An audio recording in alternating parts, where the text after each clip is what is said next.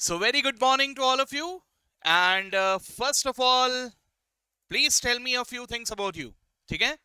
मैं आपको कुछ कुछ क्वेश्चंस पूछ रहा हूँ. And just by raising your hands you guys will tell me about it ताकि मैं थोड़ा बहुत आप सबके बारे में ही कुछ बातें पता कर सकूँ. ठीक है?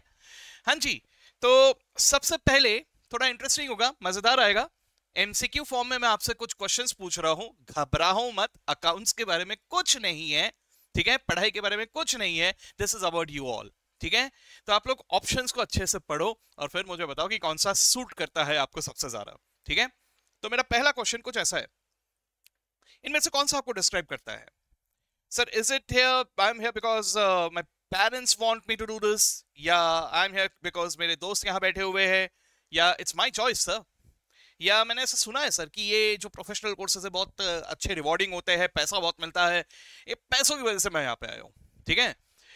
तो कौन सा आपको सबसे बेस्ट डिस्क्राइब करता है ये चीज़ के बारे में मुझे सब लोग बताइए, सोच लो आराम से, कोई जल्दबाजी नहीं है, देख लो, अपने बारे में ही सोच के बताना एंड आई होप कि यहाँ पर भैया आपस में डिस्कस करके नहीं बताओगे आप लोग ये तू क्या बता रहा? हाँ चल, मैं भी ये बताता हूँ, ऐसा प्लीज़ मत करना, अपना आंसर बताना सब लोग, ठीक है?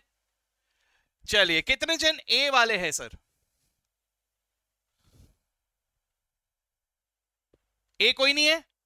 सर मुझे सी ये करना नहीं है सर। वो मेरे पेरेंट्स ने बोल दिया इसलिए ज़बरदस्ती आना पड़ा। अदरवाइज़ मैं नहीं मैं नहीं चाहता सर। ऐसे कोई है एनीवन अच्छा कोई नहीं ऐसे?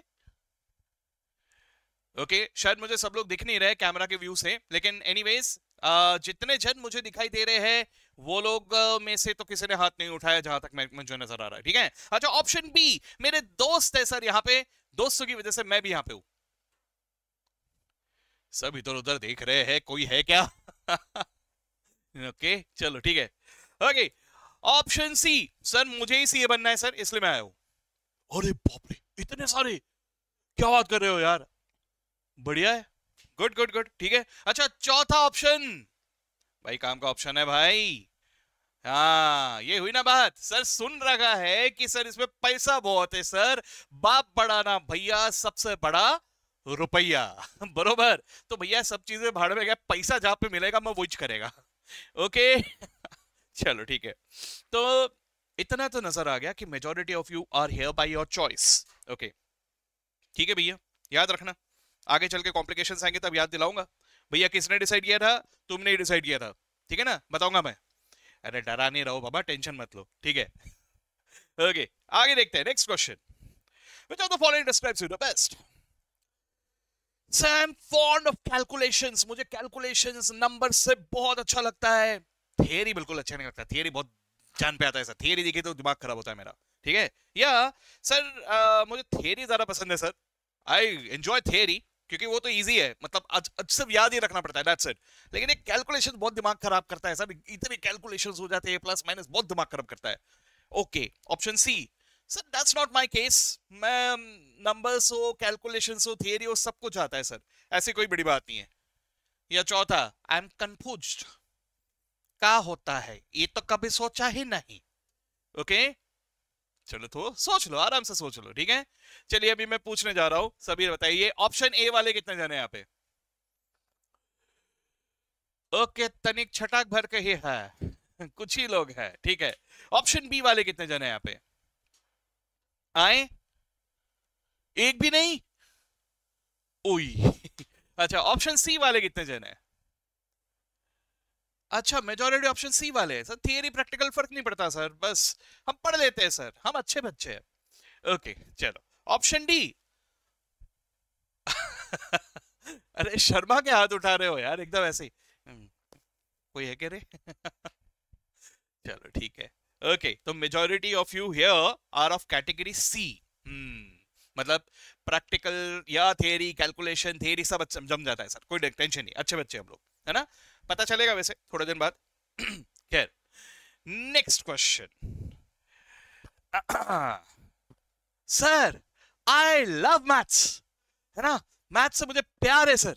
Option one option two I like maths मतलब जस्ट फ्रेंड्स ठीक है? प्यार व्यार नहीं है। Friend zone option C, maths. Subject था, सर। पढ़ लिया, भूल गए। वो कभी तो भी पढ़ा था, कुछ तो भी पढ़ा था, वो जैसे ही पास हुए क्लास भूल गए। अब याद नहीं मुझे। और चौथा, दिमाग खराब, ये बनाया किसने? मैथ्स। एक बार मिल जाए, उसको ना जान संभाल लूँगा अभी। है नहीं? ओके, चलो। ऑप्शन ए वाले कितने जने यहाँ पे?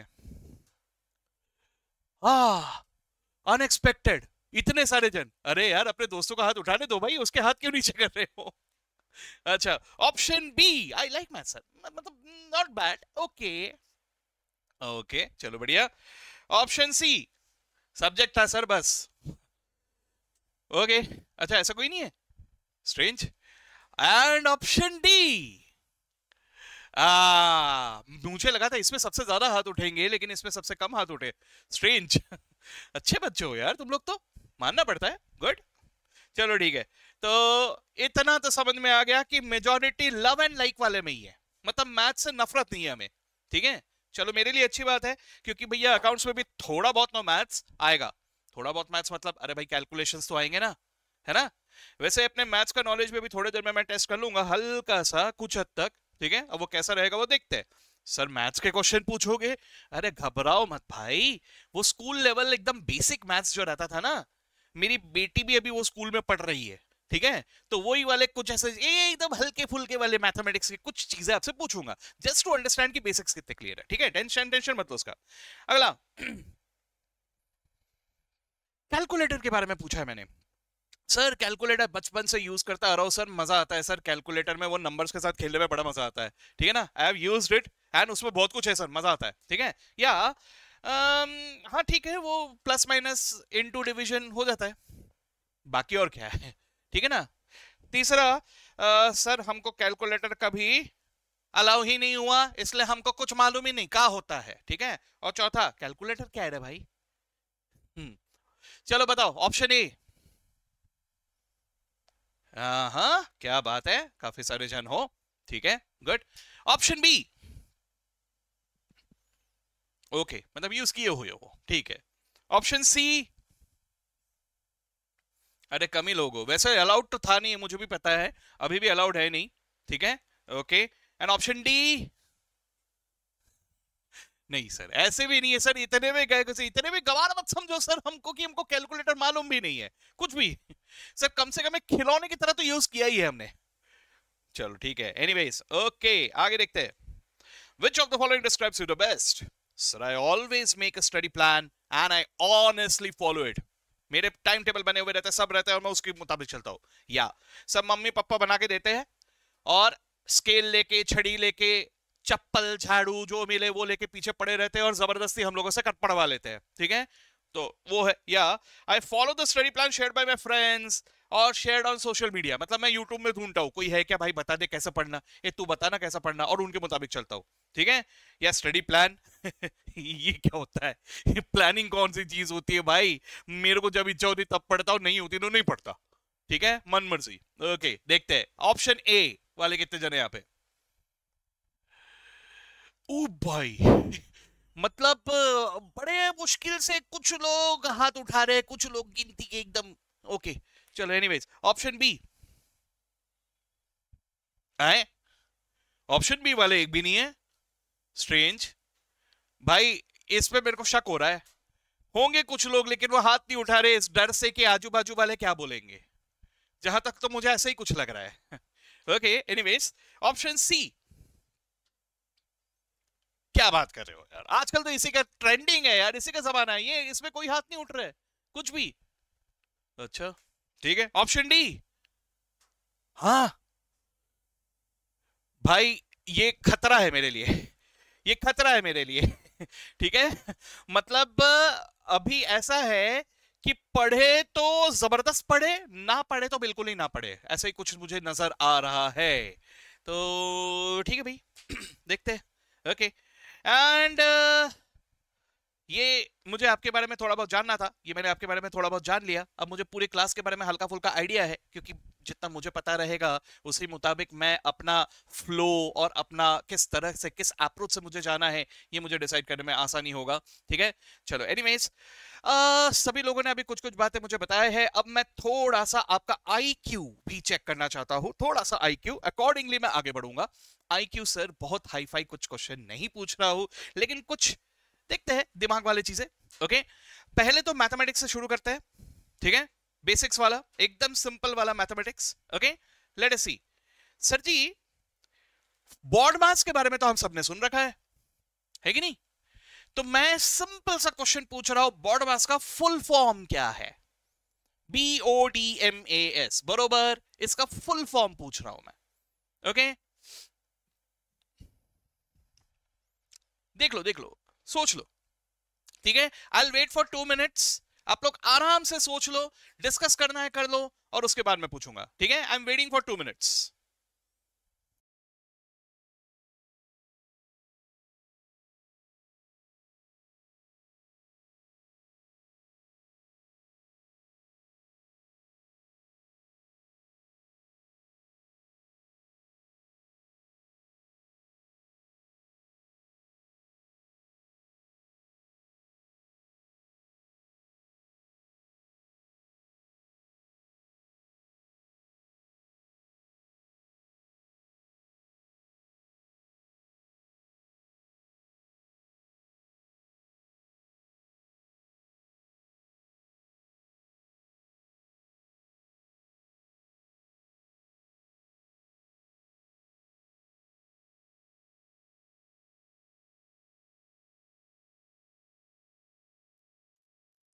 देखो सोचना तो सबका हो गया इतना तो मुझे नज़र आ रहा है सबके शक्लें देख के।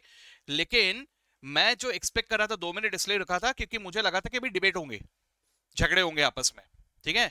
मतलब एक बोलेगा अबे ए पागल है तेरे को नहीं आता? बी है। फिर तीसरा बोलेगा अरे तुम दोनों को ही नहीं आता सी है। ऐसे झगड़े होंगे ऐसा मुझे लग रहा था लेकिन झगड़े करते दिख नहीं रहे हो आप लोग मुझे ठीक है? hmm, सोच लिया सबने। फाइनल आंसर लॉक कर दिया जाए। चलो लेट्स सी कितने जन कह रहे हो? Option A bracket out division multiplication addition subtraction एक भी नहीं? अच्छा। Option B bracket order division multiplication addition subtraction एक भी नहीं? अरे, ठीक है। Bracket open C bracket open division multiplication addition subtraction हाथ ऐसे क्यों उठ रहे हैं भाई? ऐसे कॉन्फिडेंट वाले हाथ नहीं उठ रहे? हाँ हाँ हाँ ठीक है ठीक है, कुछ लोग है भाई, कुछ लोग है okay and bracket of division multiplication addition subtraction majority majority of you bracket of correct तो इन चारों में से सही जवाब कौन सा है है ना? तो यहाँ पे कंफ्यूजन बी में तो है नहीं डी में भी नहीं है एम में भी नहीं है ए में भी नहीं है एस में भी नहीं है है ना? सब तो सेम है। बस एक ही जगह अलग अलग है सर। ओ है ना? एक जगह लिखा है आउट एक जगह लिखा है ऑर्डर एक जगह लिखा है ओपन एक जगह लिखा है ऑफ़ सो so, इसका सही जवाब आउट नहीं है। ठीक है? इसका सवा सही जवाब ओपन भी नहीं है। अरे यार फिर तो डी करेक्ट आंसर है नहीं? तो इसका सही जवाब ऑर्डर है।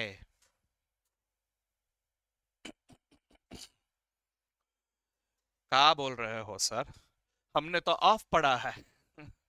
ठीक है? बेटा, ये सभी जगह होता है, हम लोग भी यही पढ़ के आए थे। ठीक है? बाद में पता चला अच्छा ये था, हम तो ये पढ़ के आए थे। ओके? तो दिस इज़ व्हाट हैपेंस तो try to understand bracket open bracket of नहीं होता। ओ का मतलब होता है ऑर्डर अब ये ऑर्डर क्या है? Now, इतना तो सबको पता है कि BODMAS tells us about the sequence of calculations right normally speaking हम लोग लेफ़्ट टू राइट जाते हैं अनलेस हम लोग उर्दू में लिख रहे हो ठीक है? उर्दू में राइट टू लेफ़्ट जाते हैं अदरवाइज़ हम लोग लेफ़्ट टू राइट जाते हैं। तो कैलकुलेशंस का भी यही रूल है कि normally speaking left to right जाते वक्त जो भी पहले आता है वो कैलकुलेशन पहले करना चाहिए लेकिन उसमें भी बॉडमास रूल लग जाता है। यानी अगर मेरे कैलकुलेशन में मुझे कोई ब्रैकेट नज़र आया I need to solve that bracket first ठीक है? उसके बाद ऑर्डर ऑर्डर का मतलब क्या हुआ? अरे भाई ऑर्डर नहीं होते, जरा सोच के देखो। आपके कैलकुलेशन में कभी ऐसा दिखता है? टू स्क्वायर टू क्यूब दिखता है? ऑर्डर यानी पावर इज़ एन ऑर्डर ठीक है? रूट कभी कभी दिखता है? That is an order indices is an order getting me तो ये जो चीज़ें होते हैं these are called as order तो सीक्वेंस में सबसे पहले bracket then you need to focus at the orders और उसके बाद डिविजन मल्टीप्लीकेशन एडिशन सब्ट्रैक्शन ठीक है? हाँ जी सर तो सब लोग मुझे अभी एक और बात बताइए। सबसे पहले एक चीज़ तो हम लोगों ने सीख लिया कि ओ का मतलब क्या होता है, ठीक है? दिमाग में रखना इस बात को। अब मुझे एक बात बताओ। डिवीज़न मल्टीप्लीकेशन में से कौन सा पहले? डिवीज़न सर पहले डिवीज़न लिखा है तो डिवीज़न ही होगा ना। अच्छा तो मुझे एक बात बताओ। किसी कैलकुलेशन में डिवीज़न मल्टीप्लीकेशन दोनों एक साथ है और मैंने डिवीज़न के पहले मल्टीप्लीकेशन कर दिया तो आंसर गलत आएगा। कि सही आएगा? मैंने क्या पूछा समझा सबने? मैंने कहा कि एक इक्वेशन मेरे सामने आया, उसमें डिवीज़न भी है, उसमें मल्टीप्लीकेशन भी है। मैंने पहले डिवीज़न करने की जगह मल्टीप्लीकेशन कर दिया। तो मेरा आंसर सही आएगा कि गलत आएगा? कितने जन कह रहे हो सही आएगा? सही आएगा। मतलब मैंने डिवीज़न पहले ना करते हुए मल्टीप्लीकेशन कर दिया, फिर भी आंसर सही आएगा। अच्छा? और कितने जन कह रहे हो गलत आएगा? मेजोरिटी ऐसे ही गलत आएगा, लेकिन कुछ आंसर्स अभी भी ऐसे है। सर, मालूम नहीं, सर। एक काम कीजिएगा division plus multiplication divided by two average ठीक है? Okay anyways so that is about addition division multiplication अच्छा मुझे एक और सवाल क्या जवाब दो। एडिशन सब्ट्रैक्शन में से अगर मान के चलो मैंने पहले सब्ट्रैक्शन कर दिया, बाद में एडिशन कर दिया, मेरा आंसर गलत आएगा क्या? हम्म? अच्छा। चलो ठीक है। तो सोच लिया ना सब लोगों ने, इसमें मैं थोड़ी देर में आता हूँ, वापस आता हूँ, ठीक है? ये बॉडमास के बारे में तो आता हूँ, लेकिन उससे पहले ये चीज़ के बारे में थोड़ा और डिस्कशन में करूँगा, लेकिन थोड़ी देर पहले, थोड़े पहले हम लोग एक और क्वेश्चन देखते हैं। Now this question is very much closely related to accounting ठीक है? Very closely related to accounting accounting में ऐसा ही कुछ होने जाता है, ठीक है? तो ये क्वेश्चन को ध्यान से पढ़ना, क्योंकि इस क्वेश्चन में मैंने ट्रैप्स बिछा के रखे हुए हैं। ट्रैप्स ओके तो ध्यान से पहले पढ़ना, समझना और फिर आंसर करना, ठीक है? ओके चलिए this is the question I hope all of you are able to see ठीक है? सर बहुत ही बड़ा क्वेश्चन है। हाँ आराम से, पढ़ो उसको, आराम से पढ़ो, सोचो और फिर जवाब देना। I wait for two minutes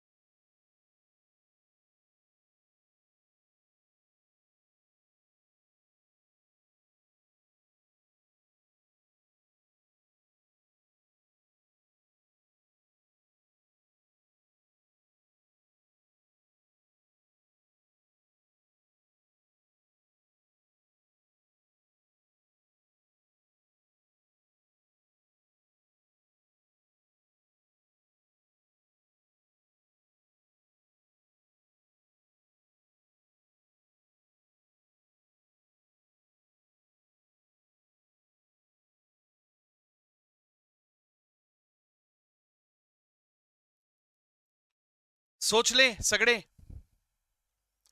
सोचून झाला सगळ्यांचा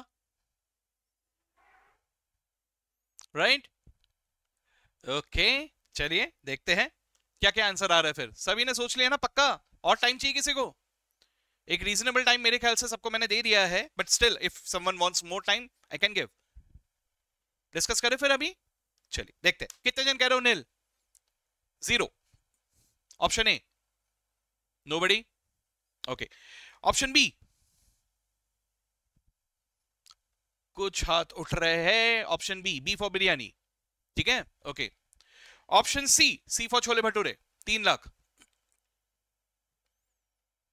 कोई नहीं? आ, एक एक एक एक एक जन है दो जन है दो जन है दो जन. ठीक है? ओके ऑप्शन डी दो lakh sir D for dosa majority of you D for dosa okay चल गुड हाँ जी तो यहाँ पे मैंने जैसे कि आपको कहा था कि मैंने यहाँ पे ट्रैप्स बिछा के रखे हुए राइट जरा ध्यान से देखना, जब मैं प्रॉफिट कैलकुलेट करता हूँ, बचपन से आप लोगों ने प्रॉफिट का फॉर्मूला तो पढ़ा होगा, है ना? What is profit profit is मतलब सेल माइनस कॉस्ट सिंपल है ना? कितने में बेचा माइनस कितने में खरीदा? सेल माइनस कॉस्ट बरोबर? ओके तो मैं क्या करता हूँ, यहाँ पर सारे सेल्स एक साथ देख लेता हूँ। यहाँ पे दो चीज़ें दी है कॉस्ट भी दिया है सेल्स भी दिया है ना? सारे सेल्स एक साथ देखो। सर, इसने पहली बार तो सेल किया दो लाख में और दूसरी बार सेल किया चार लाख में। ऐसे ही है ना? तो इसका मतलब क्या हुआ? इसने टोटल कितने में सेल किया? दो लाख प्लस चार लाख, छह लाख में। छह लाख का सेल्स है राइट अच्छा कॉस्ट कितना है? पहली बार खरीदा था एक लाख में, ठीक है? और दूसरी बार कितने में खरीदा? दूसरी बार इसने खरीदा है कहा गया भाई? दूसरी बार इसने खरीदा है तीन लाख में। तीन लाख में, है ना? यानी टोटल कॉस्ट कितना हो गया? एक लाख प्लस तीन लाख, चार लाख। ओ ओ ये पहले दब गया। ठीक है एनीवेज तो इसका मतलब क्या हुआ? सर, छह लाख में बेचा और चार लाख में खरीदा। यानी प्रॉफिट कितना हुआ? दो lakh. So majority of you were absolutely correct मैं फिर से एक बार बता रहा हूँ, एक बार ध्यान से सुन लेना। यही एक ट्रैप से हमें थोड़ा बच के रहना है। ठीक है? जरा ध्यान से देखना। मैं इस तरफ़ लिख रहा हूँ सारे इनकम इस तरफ़ लिख रहा हूँ सारे कॉस्ट ठीक है? मेरे इनकम में क्या क्या आ गए हैं? मेरे इनकम में सर, पहली बार तो मैंने दो लाख रुपए में सेल किया तो ये दो लाख रुपए मैंने यहाँ पे लिख दिया, ठीक है? इसके अलावा सर, मैंने इसे चार लाख में बेचा था तो ये चार लाख रुपए का भी मेरा इनकम हुआ, इसे भी मैंने यहाँ पे लिख दिया। इसके अलावा सर, मैंने पहली बार हॉर्स को खरीदा था, एक लाख में, जरा ध्यान से देखना, कहना ऐसे कि पहली बार मैंने एक लाख में खरीदा था और दो लाख में बेचा, यानी एक लाख रुपए कमाए, ठीक है? दूसरी बार मैंने तीन लाख में खरीदा और चार लाख में बेचा तो यहाँ भी एक लाख कमाए तो ओवरऑल मैंने दो लाख कमाए। ठीक है? यहाँ कंफ्यूजन कहाँ आ रहा है? इस सेंटेंस की वजह से। ये सेंटेंस ने यहाँ पे कंफ्यूजन पैदा कर दिया। दैट वॉज़ द ट्रैप ठीक है? ये बात आपको ध्यान रखना है कि खरीद के कभी नुकसान नहीं होता। नुकसान होता है बेच के। ठीक है? तो आपको सीधा सीधा कितने में खरीदा? कंपेयर करना है with the sale value as simple as that ठीक है? Now, this was a trap question. Trap में कुछ ही लोग फंसे। Ma'am I am very happy with this कि मेजॉरिटी ऑफ़ यू इस ट्रैप में नहीं फंसे हो। ठीक है? But at the same time ये ट्रैप्स आईसीआई बिछाते रहता है। आईसीआई यानी institute of chartered accountants of India ठीक है? ओके अच्छा मैं एक चीज़ चाहता हूँ कि सब लोग ध्यान देना। ये जो यहाँ पे मैंने किया, ये क्या किया देख रहे हो आप लोग? ये टी फॉर्मेट में मैंने लिखा। है ना? ये जो टी फॉर्मेट है ना this T format is the code language of accounting क्या कहा मैंने? कोड लैंग्वेज ऑफ़ अकाउंटिंग ठीक है? तो अकाउंटिंग में मैं बात कर रहा हूँ अबाउट पैसा, और पैसों के बारे में मैं कोई भी इंफॉर्मेशन लिखूँगा तो उसे लिखूँगा in the form of this code language ठीक है? आते हैं अभी इसमें भी। तो ये दो बातें हैं जिसकी तरफ़ अब मैं प्रोसीड करूँगा, ठीक है? तो मैं चाहता हूँ कि सब लोग एक, अगर लिखना चाहो तो लिख सकते हो। आप लोगों ने रजिस्टर आई होप की बना लिया है। अभी सबके पास नया रजिस्टर है ना? हाँ जी। तो मैं दो क्वेश्चंस में अभी आ रहा हूँ। पहला question is related to BODMAS ठीक है? अच्छा मैं और एक बात अभी सभी को बता दूँ, अपने बारे में, जो मैंने कल नहीं बताया था, पहला दिन था ना कल कल नहीं बताया, आज बता रहा हूँ, ठीक है? मेरा हैंडराइटिंग बहुत ही शानदार है, जो आप लोगों को समझ में आ जाएगा, ठीक है? इतना शानदार है कि भैया रिकॉर्ड हो सकता है, मेरे नाम से रिकॉर्ड भी हो सकता है, ठीक है? तो प्लीज़ ऑल ऑफ़ यू अगर कोई बात ना समझ में आए कि सर ये क्या लिखे हो, ये समझ में नहीं आ रहा है, नहीं आ रहा है तो मुझे पूछ लेना, गलत मत लिखना, ठीक है? ठीक है, उसमें मैं कुछ नहीं कर सकता बेटा, मेरा बचपन से ऐसा ही है हैंड राइटिंग जैसा है वैसा है, कुछ कर नहीं सकते अभी, ठीक है? ओके तो सर जी, ये बॉडमास के बारे में मैंने आपसे पूछा था कि डिवीज़न और मल्टीप्लीकेशन इनमें अगर मैं इधर उधर कर दू तो मेरा आंसर गलत होगा क्या? ये क्वेश्चन मैंने पूछा था, एक सिंपल सा कैलकुलेशन लेके देखते हम लोग, ठीक है? जैसे ten multiplied by two divided by five ठीक है? ये कैलकुलेशन है मेरा ओके okay? अब हम लोग नॉर्मली स्पीकिंग पहले डिवाइड करते हैं ना? तो डिवाइड करते हैं तो टेन बाय फाइव कितना हो गया ये? ये हो गया टू ठीक है? फिर into two as it is into two क्या हो गया ये? फोर आंसर फोर आना चाहिए इन दैट केस ठीक है? सर ऑल्टरनेटिवली अगर मैं मल्टीप्लाई कर, पहले कर दू तो क्या हो जाएगा? टेन इंटू टू है ना? फिर डिवाइडेड बाय फाइव अगर करता हूँ ये टेन इंटू टू क्या हो रहा? ट्वेंटी डिवाइडेड बाय फाइव करूँगा तो क्या हो रहा है? Twenty divided by five still four मतलब क्या हुआ? मतलब तो यही हुआ ना कि डिवीज़न करो या मल्टीप्लीकेशन करो। You are getting the same answer answer change नहीं होने वाला। ठीक है? सर फिर ऐसा क्यों बोला है? बॉडमास अरे वो बॉम्डास से बॉडमास ज़्यादा अच्छा साउंड कर रहा था, इसलिए उन्होंने बॉडमास बोल दिया। ठीक है ना? नहीं तो वो बॉम्डास होता था अच्छा नहीं लग रहा। समझे बात को?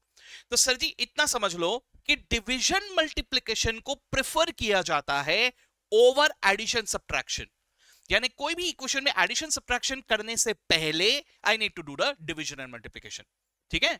और इसी तरह से एडिशन सब्ट्रैक्शन देखो सिंपल सा है। अगर मान के चलो मैं यहाँ पे ऐसा लिखता हूँ ten minus two plus plus three ऐसा कर देता हूँ मैं, है ना? तो मैं अगर टेन माइनस टू पहले करूँ, यानी आठ प्लस थ्री आंसर आया इलेवन या ऑल्टरनेटिवली अगर मैं टेन प्लस थ्री पहले कर दू।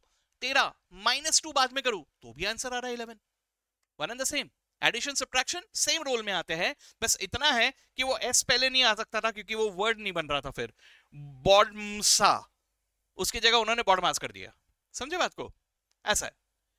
आ गया दिमाग में। So this is BODMAS okay now coming to the second point second point is basically about accounting तो यहाँ से अब हम लोग शुरू कर रहे हैं हमारा जर्नी ऑफ़ अकाउंटिंग सो दोस्तों accounting is also a language इसको दिमाग में डाल लो। अकाउंटिंग इज़ ऑल्सो लैंग्वेज जैसे आज हम लोग कम्युनिकेट कर रहे हैं। हम लोग कैसे कम्युनिकेट कर रहे हैं? हिंदी में इंग्लिश में, मराठी में, है ना? ऐसे अलग अलग लैंग्वेजेस में हम लोग कम्युनिकेट कर रहे हैं राइट तो कम्युनिकेशन में क्या हो रहा है? मैं कुछ कह रहा हूँ, आप उसी को समझ रहे हो। ऐसा ही कुछ है ना? तो sir accounting is also language कोई भी बिज़नेस पैसों से रिलेटेड दुनिया भर के ट्रांजैक्शन में इंकर करता है इंफॉर्मेशन रखता है। तो वो किसी से भी अगर कम्युनिकेट करेंगे तो किस भाषा में कम्युनिकेट करेंगे? अकाउंटिंग लैंग्वेज में। ठीक है? अब ये जो लैंग्वेज होता है, ये एक तरह का कोड लैंग्वेज होता है। ये एक तरह का कोड लैंग्वेज होता है। कोड लैंग्वेज तो मेरे ख्याल से सभी लोग समझते होंगे, है ना? भैया, दोस्तों में जितना ज़्यादा कोड लैंग्वेज यूज़ होता है, उतना तो किसी में नहीं होता। है कि नहीं? हम लोग कोड लैंग्वेज में अक्सर इशारे करते हैं, है ना? समवन स्पेशल उसके कोई ना कोई कोड नेम होते हैं, ठीक है? लड़कियों में कोड लैंग्वेज थोड़ा ज़्यादा अच्छा होता है, वो सच में कोड जैसा होता है, लड़कों को नहीं समझता, लड़कों को कोड वोड कुछ नहीं समझता। जैसे फॉर एग्ज़ाम्पल अगर मैं एग्ज़ाम्पल के फॉर्म में ऐसा कहूँ कि देर इज़ समवन स्पेशल अब समझ जाओ आप लोग। There is someone special and हमारे ही दोस्तों में से कोई एक यू नो ओके तो लड़कों का चिढ़ाने का तरीका एक अलग ही रहता है। ऐसा रहता है कि सबको समझ में आ जाता है। बरोबर? जैसे फॉर एग्ज़ाम्पल जैसे ही that someone special enters the class पूरे के पूरे लड़के मिल गए चिल्लाएँगे और एक ही लड़का है जो अभी चुप चुप चुप चुप है ऐसा करेगा राइट सबको समझ में आ जाएगा कि कौन है वो बंदा। ठीक है? तो लड़कों को समझता है नहीं। उनको कोडिंग वोडिंग बहुत ही बेकार होते हैं, ठीक है? गर्ल्स होते हैं भैया, ठीक है ना? गर्ल्स कोडिंग में बहुत अच्छा अगर यही उल्टा हो गया देर इज़ समवन स्पेशल है ना? एंटर्स द क्लास अब गर्ल्स कैसे चिढ़ाते सही है गर्ल्स ऐसे ही they actually keep that secret okay अच्छा उसके अलावा भी अगर कुछ बोलेंगे तो कुछ अलग तरह से बोलेंगे। देख डोनाल्ड आया। समझे? अब नाम भी ऐसे ही होता है। अजीबो गरीब ठीक है? टॉमी आया, देख। ठीक है ना? I don't know what they actually want to say but whatever right तो इस तरह से ये जो कोड होता है, ये कोड में जिसको समझना था वो समझ गया। समझदारों को इशारा काफ़ी होता है। तो इसी तरह का यहाँ का भी एक लैंग्वेज होता है, जो शायद से पूरी दुनिया को ना समझे, लेकिन हमें समझेगा, जो अकाउंटिंग पढ़ रहे हैं, है ना? तो ये कोड लैंग्वेज कैसा है? देखो, बहुत सिंपल सा है। ये ऐसा क्या कर दिया मैंने? मैंने दो लाइन खींच दिए अब मुझे एक बात बताओ, मैं बात कर रहा हूँ अबाउट पैसा। I am talking about money right तो अगर मैं पैसों की बात करूँ पैसों में दो ही बातें होती है, भाई, लेन देन, पैसा आएगा या पैसा जाएगा, और क्या होगा? ऐसे ही है ना? तो मैं क्या करूँगा, मैं जितने भी पैसों से रिलेटेड इंफॉर्मेशन है, उन इंफॉर्मेशन के लिए ऐसा एक फॉर्म बना लूँगा, ऐसा एक टी बना लूँगा। जैसे फॉर एग्ज़ाम्पल सर, मुझे बात करना है अबाउट पैसा कैश तो मैं कैश के बारे में ऐसा बना लूँगा। ये बना लिया मैंने, ठीक है? अब मेरे पास दो साइड है है ना? मैं इस तरफ़ में लिखता हूँ कि मेरे पास कितना पैसा आया। जैसे देखो, मैंने यहाँ पे लिखा दस हज़ार रुपए। जैसे मैंने यहाँ पे लिखा, क्या समझ में आएगा मुझे कि सर मेरे पास ना दस हज़ार रुपए है? अब जरा सोच के देखना, मैं यहाँ पे और पाँच हज़ार लिखता हूँ। क्या समझा आपको अभी? अब मेरे पास कितने पैसे है? पंद्रह हज़ार है राइट सर मैंने यहाँ पर और तीन हज़ार लिख दिए। अब क्या समझ में आ रहा है? सर, और तीन हज़ार आ गए। कितना पैसा अभी हमारे पास? अठारह हज़ार है राइट अब मैंने यहाँ पे लिख दिया चार हज़ार रुपए। कहा लिखा? ऑपोजिट साइड में। क्या कह रहा है मेरा दिमाग अभी? सर, अठारह हज़ार कैश में से चार हज़ार रुपए खर्च हो गए। बता रहा है ये बात? अब मैं यहीं पे और तीन हज़ार लिख देता हूँ। मतलब क्या हुआ? सर, अठारह हज़ार में से इन टोटल सात हज़ार रुपए खर्च हो गए कुछ समझ में आ रहा है? मैं क्या कह रहा हूँ? अब जरा ध्यान से देखना। मुझे कैलकुलेट करना है प्रॉफिट मुझे कैलकुलेट करना है प्रॉफिट इसके लिए मैंने ऐसा बना लिया। ठीक है? मैंने एक तरफ़ लिख लिए इनकम एक तरफ़ लिख लिए खर्चे। एक्स नहीं लिखता एक्सपेंस लिख देता हूँ। एक्स लिखूँगा तो कुछ लोगों को दर्द होगा। है कि नहीं? एक्स नहीं भाई एक्सपेंस ई एक्स पी हाँ ठीक। तो अगर मैंने यहाँ लिख दिया इनकम इधर लिख दिया एक्सपेंस ठीक है ना?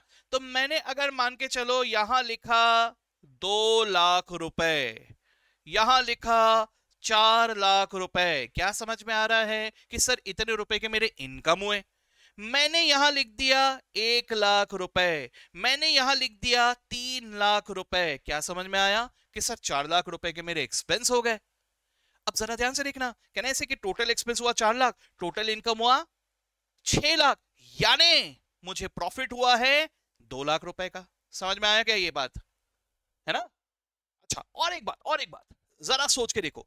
मान के चलो, कोई एक व्यक्ति है, कोई एक पर्सन है, ठीक है? कौन है? शर्मा जी है। शर्मा जी, ठीक है? शर्मा जी है। तो शर्मा जी से पैसे के लेन देन हो रहे हैं। अब देखो सर, शर्मा जी हमारे दुकान में आए, हमारी दुकान है, मान लो, ठीक है? हमारी दुकान में आए और उन्होंने कुछ सामान खरीदे, जैसे ही हमने पैसे मांगे, शर्मा जी, पैसे। तो शर्मा जी बोले, क्या भरोसा नहीं है मेरे पे? पैसे देंगे ना बिल्कुल। क्या भरोसा नहीं करते लिख के खाते में लिख लेना। होता है है ना? हमारे मोहल्ले के दुकानों में हम लोग ऐसे ही खरीदते हैं कहने से सो। मोहल्ले का जो किराने का दुकान है, वहाँ जाके अपन खाते में ही लिखवाते हैं। है ना? डेली नीड्स की दुकान, खाते चलते हमारे। अब आप लोगों के भी, मेरे ख्याल से कैंटीन में भी खाते चलते होंगे। करेक्ट खाते में लिख लेना। अब खाते में लिख लेना तो कैसे लिखेंगे? इस तरह से। कैसे? अगर मुझे शर्मा जी से कुछ पैसे लेने हैं, मान के चलो इनसे हज़ार रुपए लेने हैं, मैंने लिख दिया यहाँ। ये मुझे क्या बता रहा है? कि सर जी, इनसे मुझे इतने पैसे लेने हैं। मी अच्छा मैंने और 500 लिख लिया। इसका मतलब क्या हुआ? कि और पाँच सौ रुपए लेने हैं, है ना? उधार एक ही बार थोड़ी होगा, बार बार दुकान में आ रहा है। मुझे और यहाँ पे 600 लिख दिए। मतलब क्या हुआ? और 600 रुपए लेने हैं। अब कहना है कि ये पैसे दे भी सकते हैं, लेकिन सारे के सारे पैसे एक साथ देंगे। इस बात का कोई गारंटी नहीं, इंस्टॉलमेंट पे भी दे सकते हैं। मैंने यहाँ लिखा तीन सौ रुपए। मतलब क्या हुआ?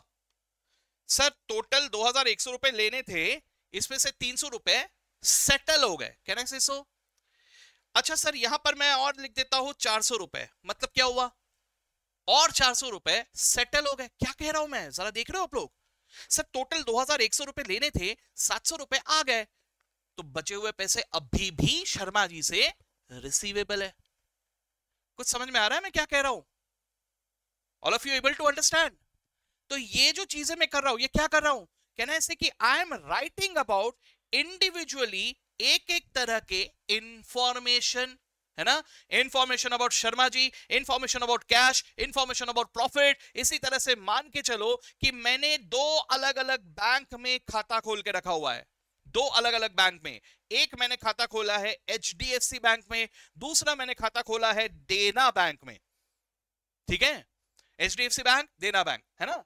अब मेरे वहाँ पे भी कुछ पैसे रखे हुए तो कितने पैसे रखे हैं? जो भी पैसे वहाँ पे जमा कर रहा हूँ, वो मैं लिख रहा हूँ यहाँ। यहाँ। यहाँ लिखा मतलब क्या समझ में आ रहा है? सर, पाँच हज़ार रुपए मैंने HDFC में जमा किए और देना बैंक में मैंने तीन हज़ार रुपए जमा किए। अब मैंने और यहाँ पे चार हज़ार लिख दिया। यानी क्या समझ में आ रहा है आपको? कि मैंने चार हज़ार रुपए और HDFC बैंक में जमा किए। अब मैंने यहाँ पे ढाई हज़ार लिख दिया। मतलब क्या समझ में आया आपको? कि मैंने ढाई हज़ार और देना बैंक में जमा किए। अब मैंने यहाँ पे लिख दिया पंद्रह सौ रुपए। क्या समझ में आ रहा है? एच बैंक से मैंने पंद्रह सौ रुपए निकाल लिए। मैंने यहाँ पर दो हज़ार रुपए लिख दिए। मतलब क्या समझ में आया? मैंने देना बैंक से दो हज़ार रुपए निकाल लिए। अब जरा देखना, मुझे ये भी पता रहेगा कि मेरे एचडीएफसी बैंक और देना बैंक में कितने पैसे रखे हुए एच बैंक में नौ हज़ार माइनस डेढ़ हज़ार। कितना पैसा रखा है? ठीक है? देना बैंक में कितना पैसा रखा है? आ रहा है सबको? गेटिंग मी सो एक एक करके मैं ये सारे इंफॉर्मेशन को एक कोड लैंग्वेज की तरह से लिख रहा हूँ, है ना? तो यही कोड लैंग्वेज है अकाउंटिंग इसी को कहा जाता है अकाउंटिंग नथिंग एल्स ठीक है? तो सर यहाँ पर मैंने कहा लिखा? ये इधर लिखा इधर लिखा। अरे यार, ये इधर उधर क्या होता है? तो एक काम करो ना सर ऐसा बोल दो left hand side right hand side वो एक कौन सा तुम्हें मूवी आया था, मुझे याद नहीं आ रहा है। उसमें उसने बोला था कि सर लेफ़्ट बोला लेफ़्ट सर आपका लेफ़्ट की मेरा लेफ़्ट ठीक है? कौन सा तो भी एक मूवी आया था ना, आप लोगों ने भी देखा होगा शायद से। वो मुझे भी याद नहीं आ रहा कौन सा मूवी है। कोई तो भी कैसे देखा था, ठीक है ना? मैं मूवीज़ देखने का तरीका मेरा ऐसा ही है। पता है क्या? मैं मूवी देख के उसमें भी एग्जाम्पल्स ढूँढने लग जाता हूँ कि कौन सा एग्ज़ाम्पल क्लास में दिया जा सकता है, ठीक है? तो वही मेरे को वो एग्ज़ाम्पल याद रह गया मूवी याद नहीं है, ठीक है? तो एनीवेज ये लेफ़्ट राइट का भी कंफ्यूजन है सर इसलिए यहाँ पे क्या कर दिया? इन्होंने बोल दिया कि ये इस तरफ़ को हम कहेंगे एज द डेबिट साइड और इस तरह को हम कहेंगे as the credit side as simple as that. Debit side, credit side. अब मैंने हज़ार रुपए शर्मा जी को क्या किया? डेबिट किया। कुछ समझे? तीन सौ रुपए शर्मा जी को क्या किया? क्रेडिट किया। इसका मतलब क्या हुआ? सर डेबिट किया बोले तो शर्मा जी के इधर लिखा है मैंने। और क्रेडिट क्या बोले तो उधर लिखा है। तो ये चीज़ से मेरे दिमाग में क्लैरिटी आ रहा है कि मैं कहाँ लिख रहा हूँ और वो कहाँ लिख रहा हूँ, इससे मुझे ये पता चल जाएगा कि भैया इंफॉर्मेशन क्या है? शर्मा जी से पैसे लेने हैं कि उनका अकाउंट सेटल हुआ, क्या हुआ? मी इसी तरह से जब मैं कैश की बात कर रहा हूँ, जो मैंने यहाँ लिखा, ये क्या है? ये सब मैंने कैश को डेबिट किया। जो मैंने यहाँ लिखा है ये क्या है? ये सब मैंने कैश को क्रेडिट किया। तो इससे मुझे क्या समझ में आ रहा है? मुझे ये समझ में आ रहा है कि सर डेबिट और क्रेडिट कुछ ना कुछ मीनिंग बताएँगे। वो क्या मीनिंग बता रहा है? मुझे ये बता रहा है कि सर डेबिट में लिखा मतलब कैश का इनफ्लो हुआ, पैसा आया। क्रेडिट पे लिखा मतलब कैश का आउटफ्लो हुआ, पैसा गया। कुछ समझ में आ रहा है मैं क्या कह रहा हूँ?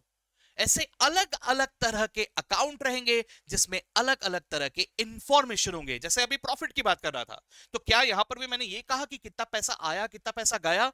नो सर मैं प्रॉफिट की बात कर रहा हूँ तो मैं किसकी बात कर रहा हूँ? इनकम और एक्सपेंसेस मैंने इधर डेबिट में क्या लिखा? एक्सपेंसेस मैंने क्रेडिट में क्या लिखा? इनकम कुछ समझ में आ रहा है मैं क्या कह रहा हूँ?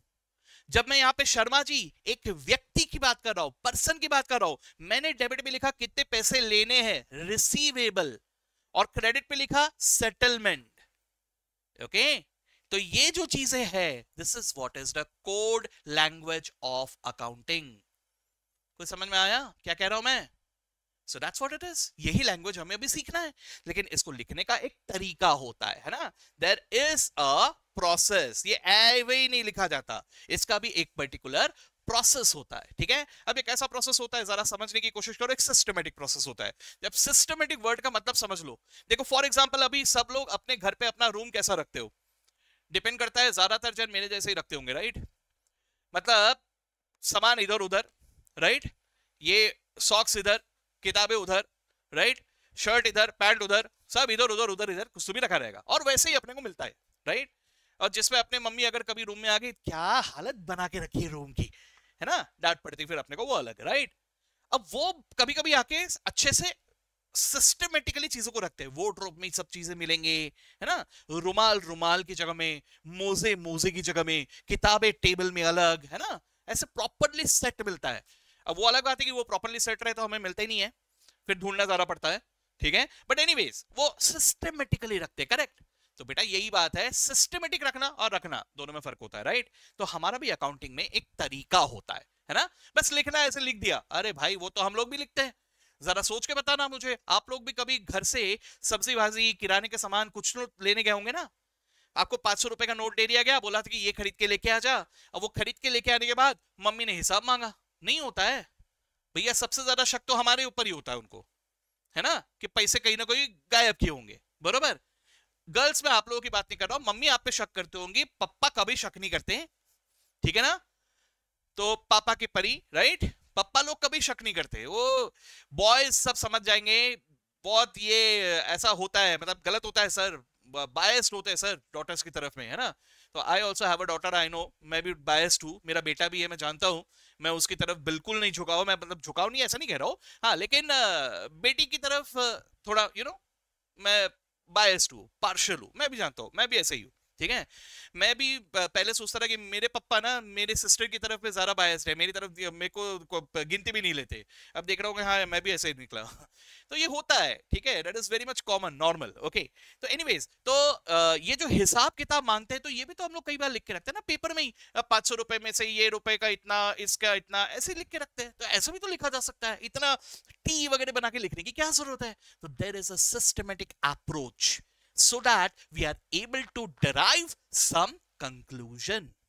ठीक है? So that is what is accounting और यही प्रोसेस अभी हमें सीखना है। समझ में आ रहा है?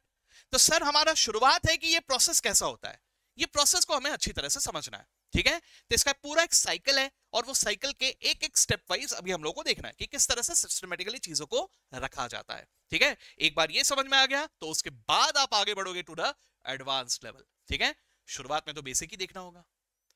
राइट हाँ जी तो दोस्तों मुझे सबसे पहले अभी रिलैक्स हो जाओ सबके सब क्योंकि हम लोग बहुत ज़्यादा एकदम से नहीं पढ़ने वाले लेकिन सभी लोग मुझे एक बात बताओ हल्का फुल्का अकाउंटिंग में क्या होता है? ये दिमाग में गया? कि नहीं गया? कितने जनों के दिमाग में गया? अकाउंटिंग में क्या होता है? Yes very good very good तो ये कोड लैंग्वेज है, इस बात को ध्यान में रखना और इस कोड लैंग्वेज को ही अभी हमें क्रैक करना है, यानी डेबिट क्रेडिट को हमें समझना है। तो आराम से समझेंगे। इनिशियली हमें थोड़ा सा थियरी डिस्कस करना पड़ेगा। बिना थियरी के एकदम से कैलकुलेशन में नहीं जा सकते। पहले तो थोड़े बहुत समझना होंगे और वो थियरी आई नो थोड़ा होता है। ठीक है? तो जितने जल्दी हो सकता है इस थ्योरी को हम लोग निपटाने की कोशिश करेंगे और उसके बाद कैलकुलेशन वाले पार्ट में आ जाएँगे। ठीक है? चलो दोस्तों तो आज बहुत ज़्यादा नहीं पढ़ेंगे, बस यहीं तक, आज का जर्नी यहीं तक। बाकी कल मैं शुरू करूँगा विद द अकाउंटिंग प्रोसेस ठीक है? डेबिट क्रेडिट की जर्नी को कल हम लोग कंटिन्यू करेंगे। ठीक है? चलो तो with that let's stop for today I hope you enjoy the session today थोड़ा मज़ा आया पढ़ने में। ठीक है? पहली बार सीए की पढ़ाई करना शुरू किए तो थोड़ा बहुत मज़ा आ रहा है कि डर लग रहा है? मज़ा आ रहा है? गुड गुड गुड ठीक है? चलो with that let's stop for today and we will see you again tomorrow okay चलो bye bye all of you